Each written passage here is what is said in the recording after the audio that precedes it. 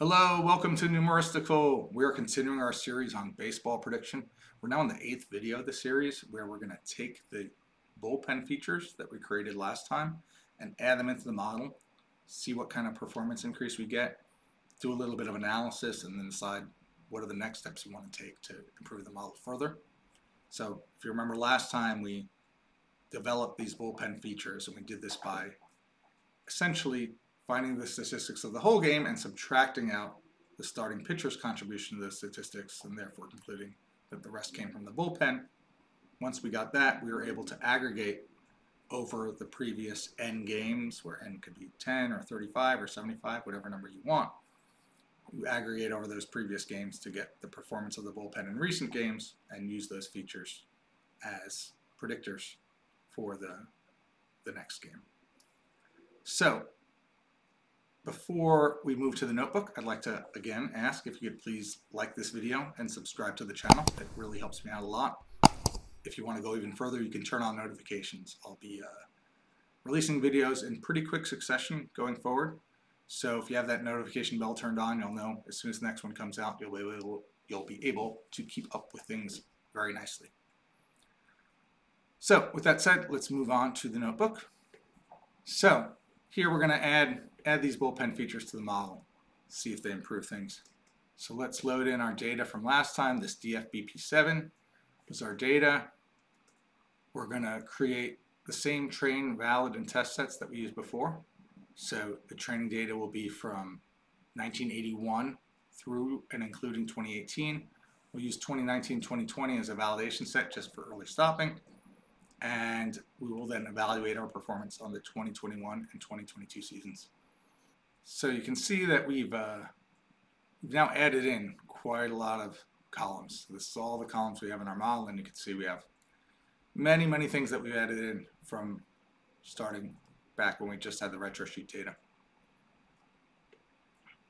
Now, if you remember when we previously did model building, we uh, we'd go through multiple cells where we would choose our features, train the model, make the predictions, look at the log losses, do some analysis of the features with SHAP values and so forth.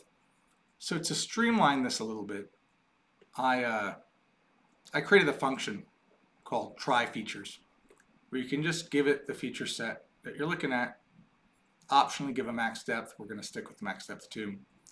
Um, and it will do all those steps in one function call. So it'll, it'll create your X's, your feature sets.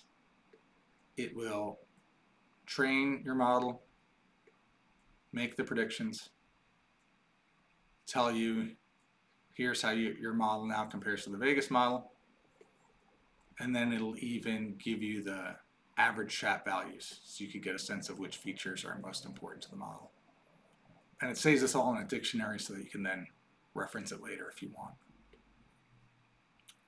So to just go back a little bit, let's, in the last last time we did modeling, which is when we added in the starting pitching, we played around with a few different models and, you know, generally got, you know, plus or minus two basis points. They were all about the same performance.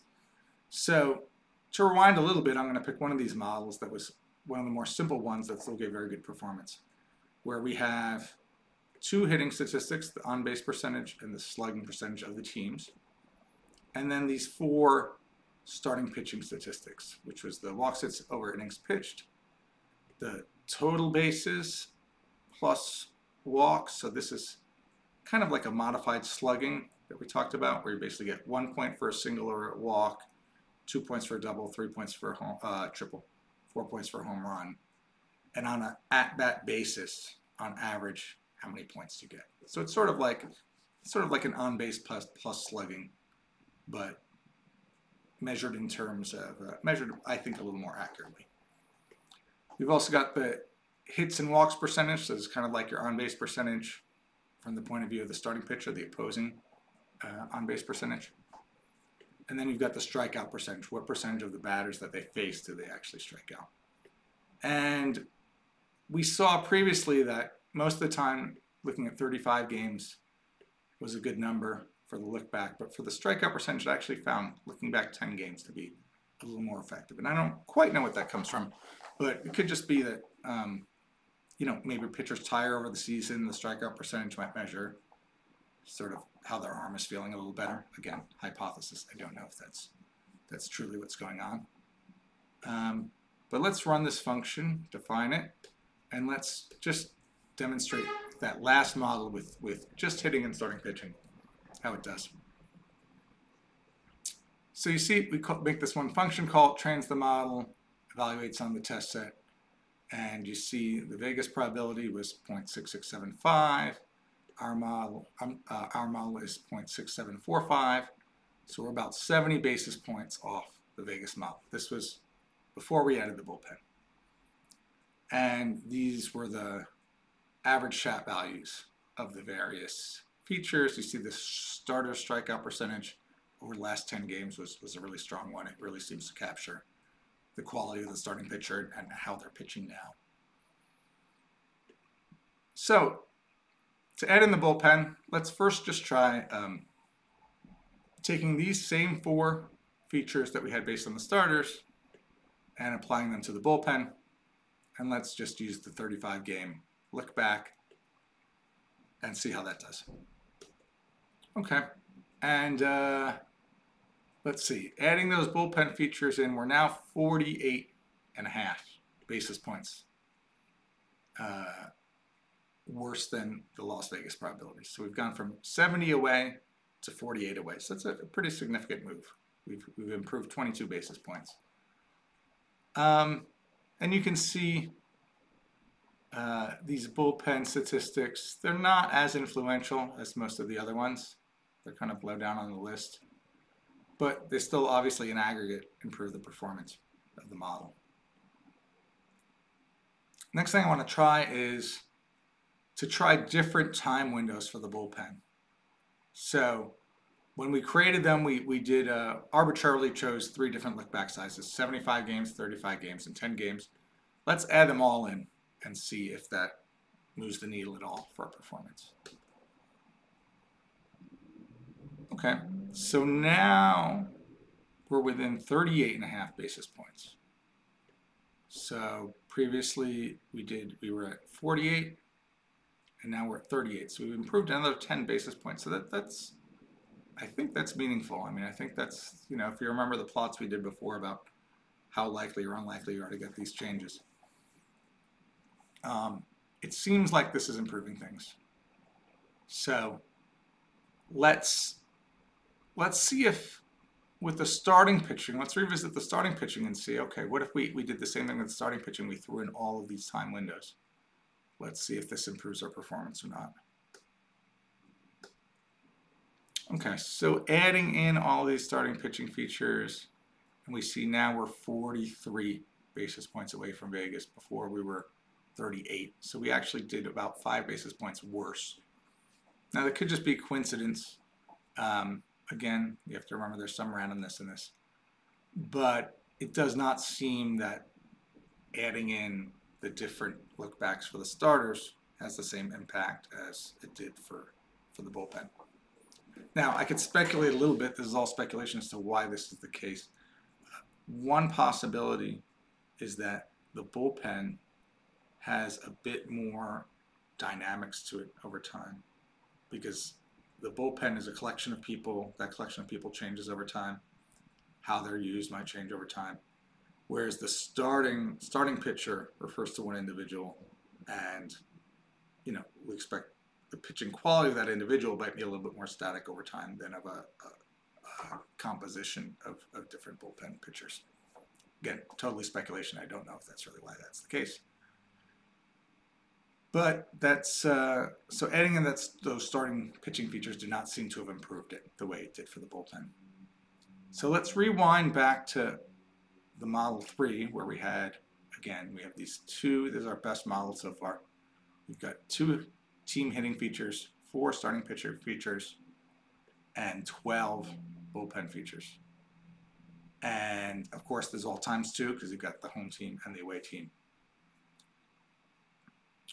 So now we haven't done much with hitting, and the fact that we only have two hitting features and so many different pitching related features means maybe maybe we can get a little more um, a little more information on what we have about the team hittings.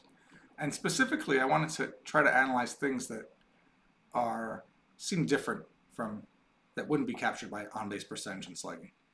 So one is errors, so something about fielding. So errors are not necessarily the greatest indication of how good a team fielding is, but it's what we have now. So let's let's put it in, see if it helps. And similarly, stolen bases and caught stealing. So stolen bases, if you talk to baseball sabermetrics folks, they will tell you that you know stolen bases are not really that valuable to a team, and that um, you know the the advantage that you gain by moving up the base compared to the loss that you suffer if that runner gets thrown out is very disproportionate. So I'm going to put in both stolen bases and caught stealing, see if that helps balance things out. Also put in the errors and see whether this improves our model at all from, from our model 3, which is currently our best model. Okay, so we are now at 42 basis points off the Vegas model. So does not seems to be about the same as the previous model and four points worse than our Model 3. So it does not seem to have improved things. Again, this could be noise.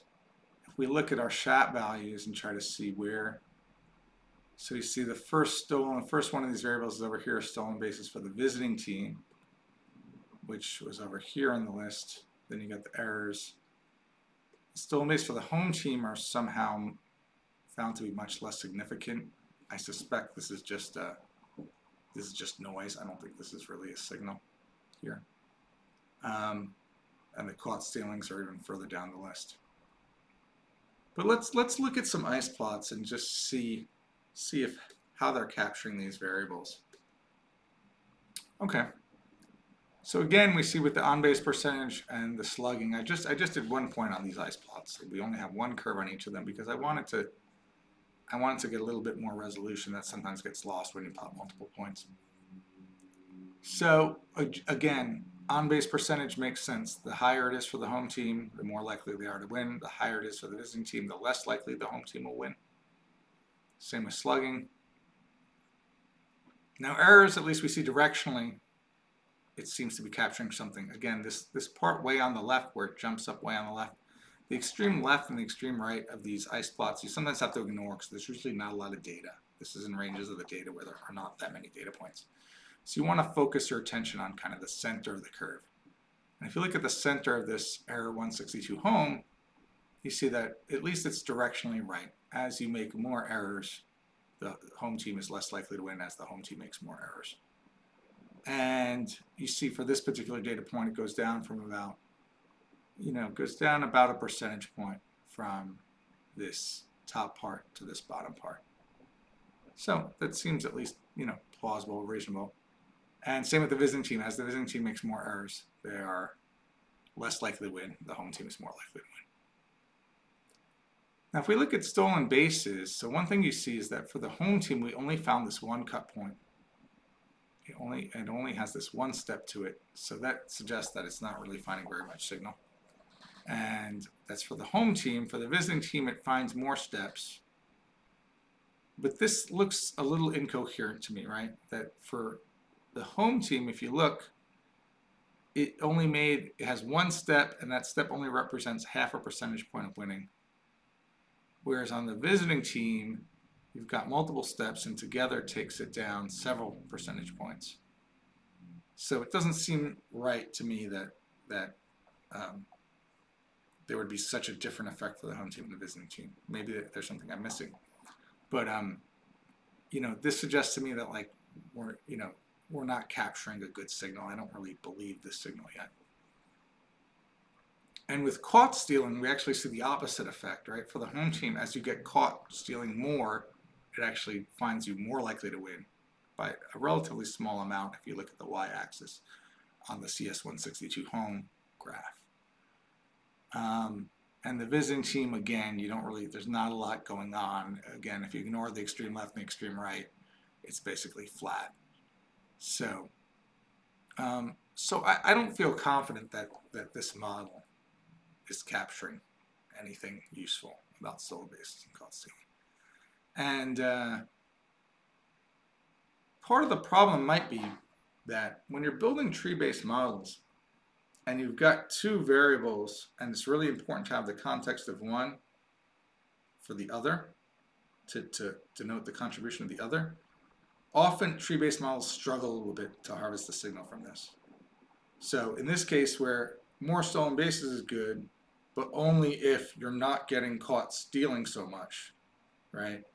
Um, it often struggles to, to, to find the right correspondence between those two.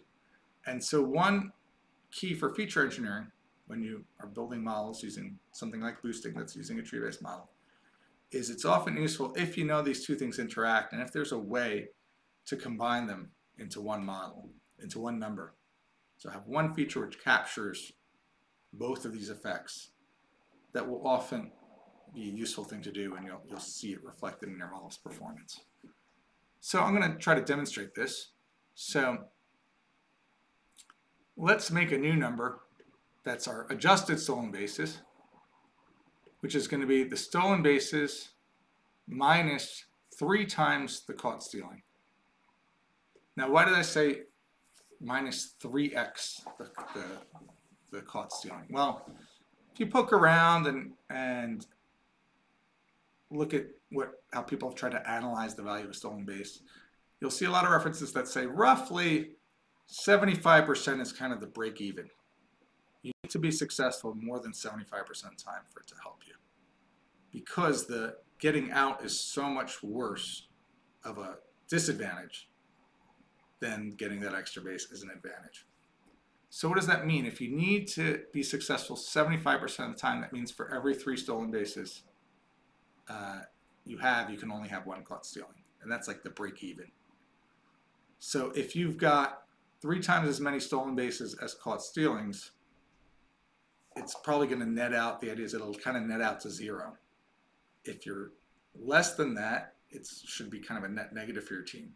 And if you're stronger than that, should be a net positive. Again, this is somewhat subjective, but it's trying to capture what we, how we think these two features interact.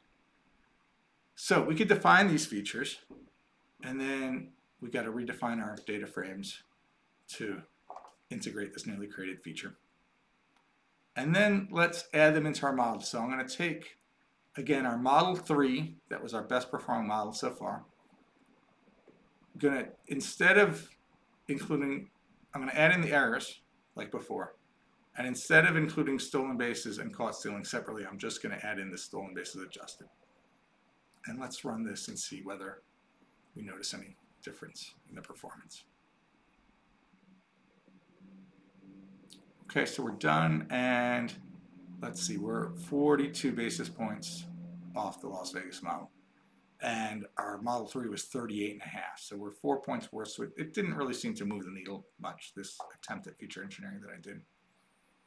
Um, but again, let's let's look at the ice plots and just see whether, at least directionally, they seem to be doing any better. Okay, so this finished.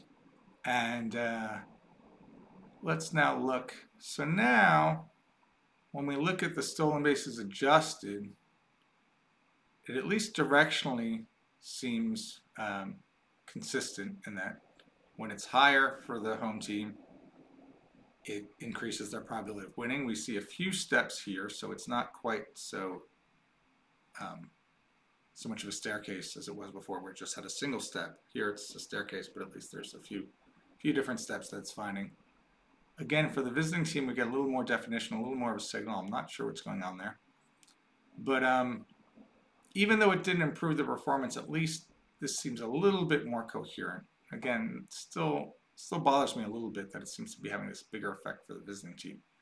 Um, but the point is that, again, because the evaluation on the test set might often be noisy, it's a good idea to look at these ice plots and just see if when I added these variables in, is what the model doing with them even making any sense? And if it's not making any sense, then I know, okay, I just can't get the signal out of this. I should just leave it alone. Whereas if you're putting something in, it seems to modestly capture the signal. you at least have a little bit more faith that, okay, maybe this is doing something useful. So again, this is all heuristics and judgment, but um, it's something to look at. Okay, let's do a little bit, let's do a little bit of analysis now of this model. So we want to compare our model to Vegas. And let's take a little bit of an overview of what you need to make money off of Vegas. So, to use these models to actually make money, you need a few things to happen.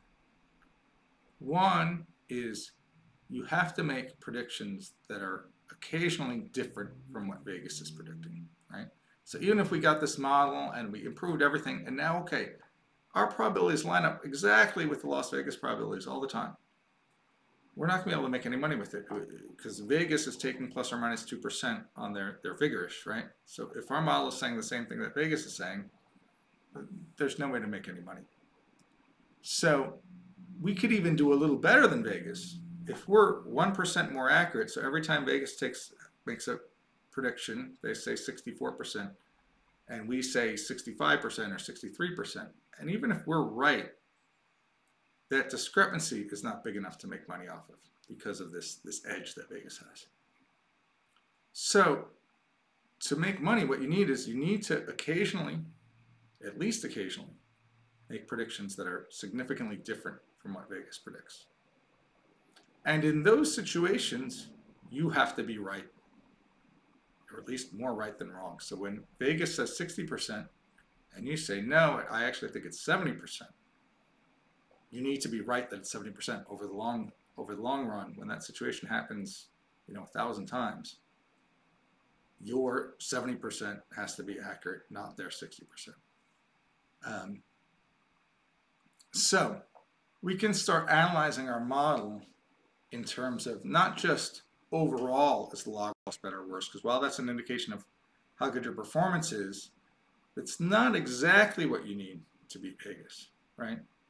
So let's let's look at first of all how do our predictions compare with the Vegas predictions?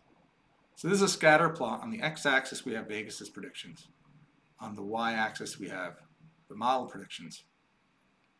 And this line is the line y equals x, so it's where the x and y are the same.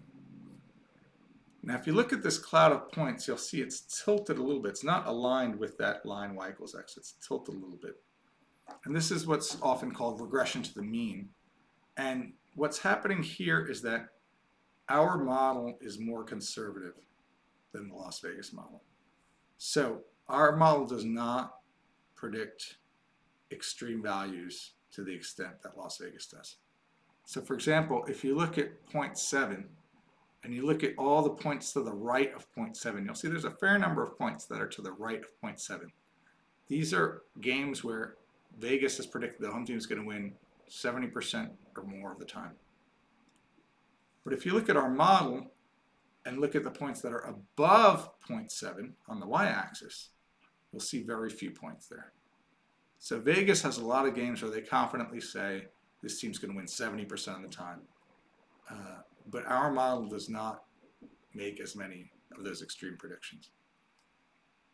So that tells us that our, model is not as discriminative. So remember, you could you could be perfectly calibrated and just predict 53.8% of the time for the home team every time. And you'll be right, it'll be 53.8% of the time each of those games. But you, you won't be discriminative. You really want your model to be discriminative and be correct and be calibrated. So to be discriminative, you have to predict, make predictions that are closer to 0 and 1. So the Vegas model is more discriminative than our model is. Now let's look at these discrepancies.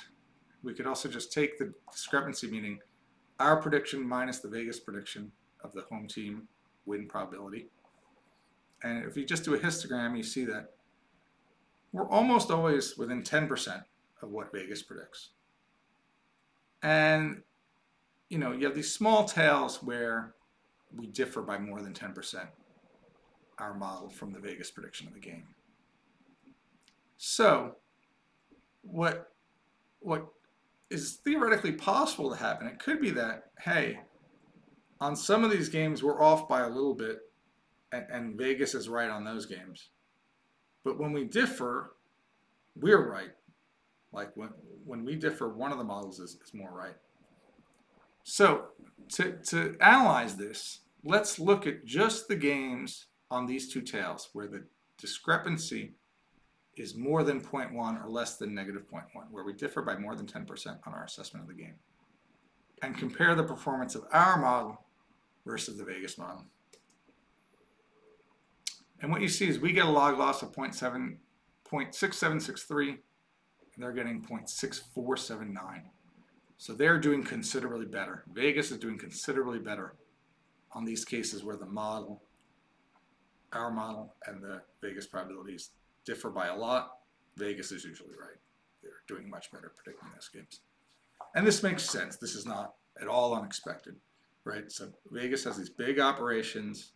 There are people that, you know, have scouts in the games, talk to people in the locker room, find out, you know, who went out drinking last night, might not be pitching their best, and so forth.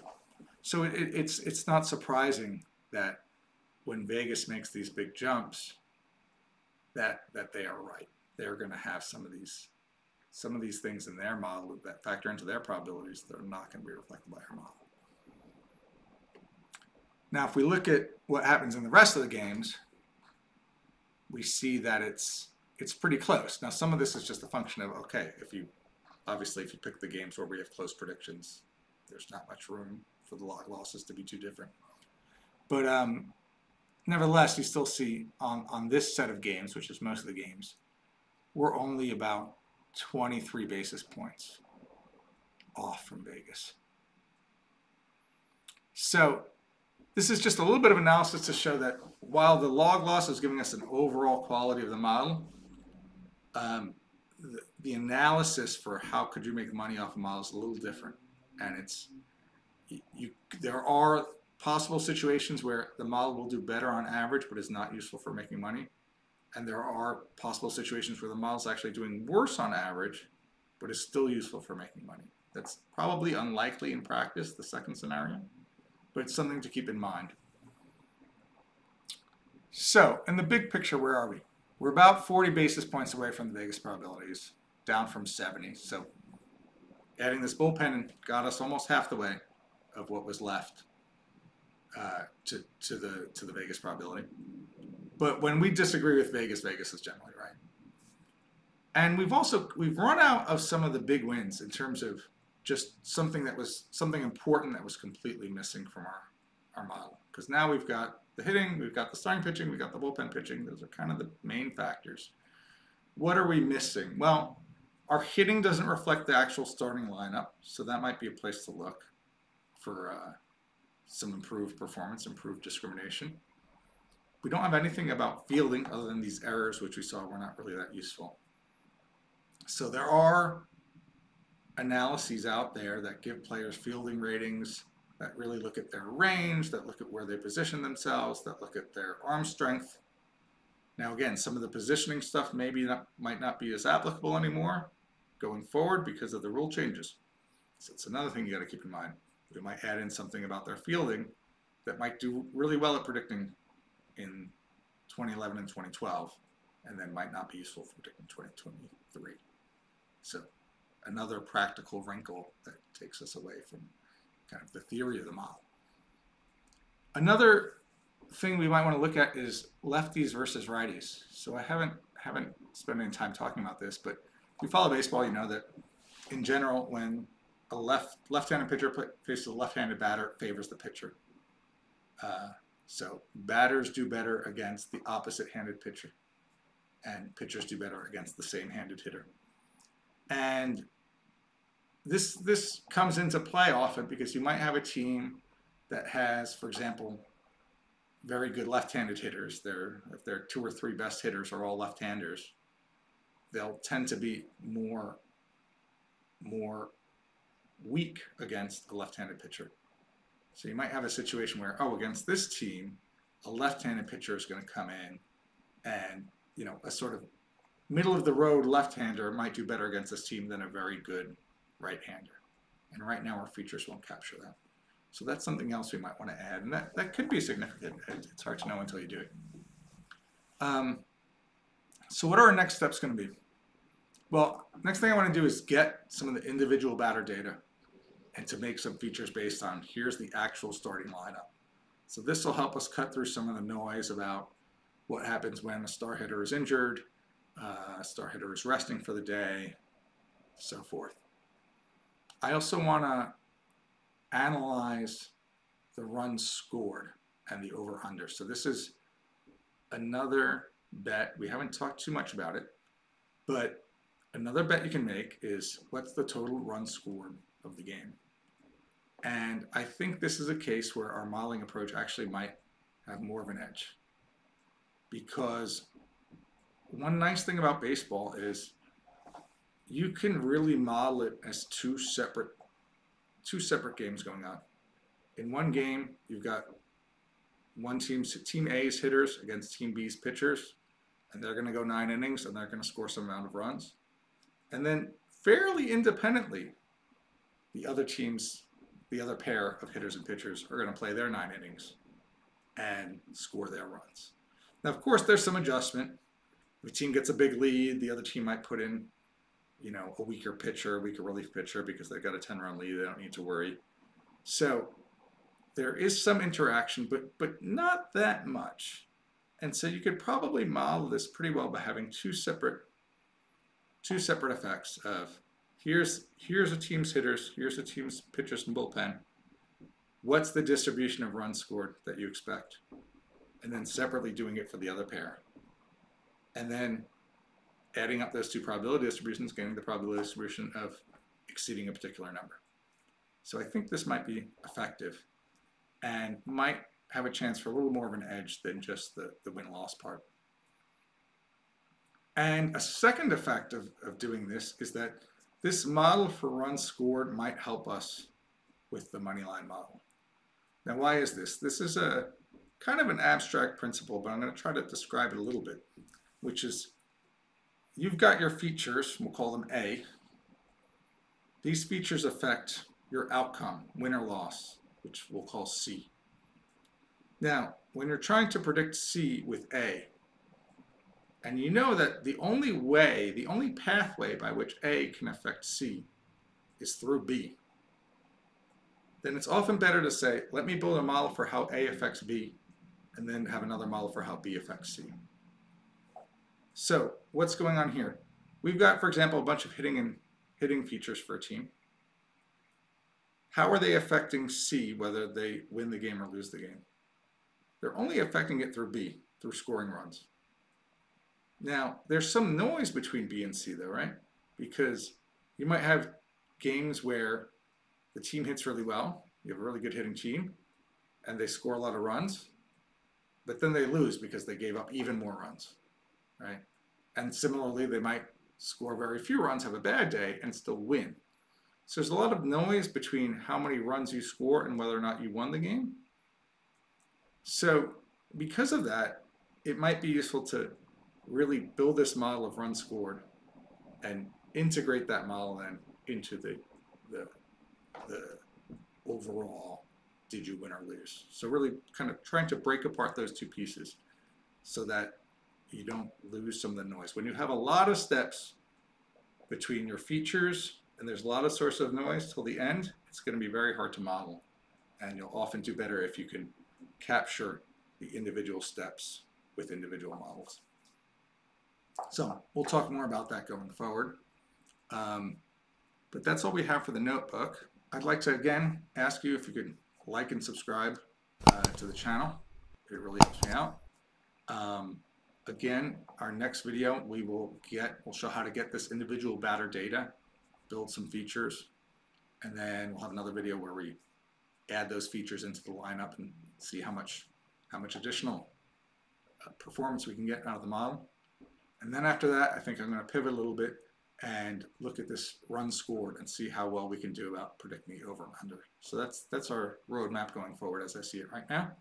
So I hope you'll continue watching these videos. Uh, really enjoy all the comments and, and all the feedback I've gotten from people, so please keep watching. And uh, have a great day. I'll see you in the next video.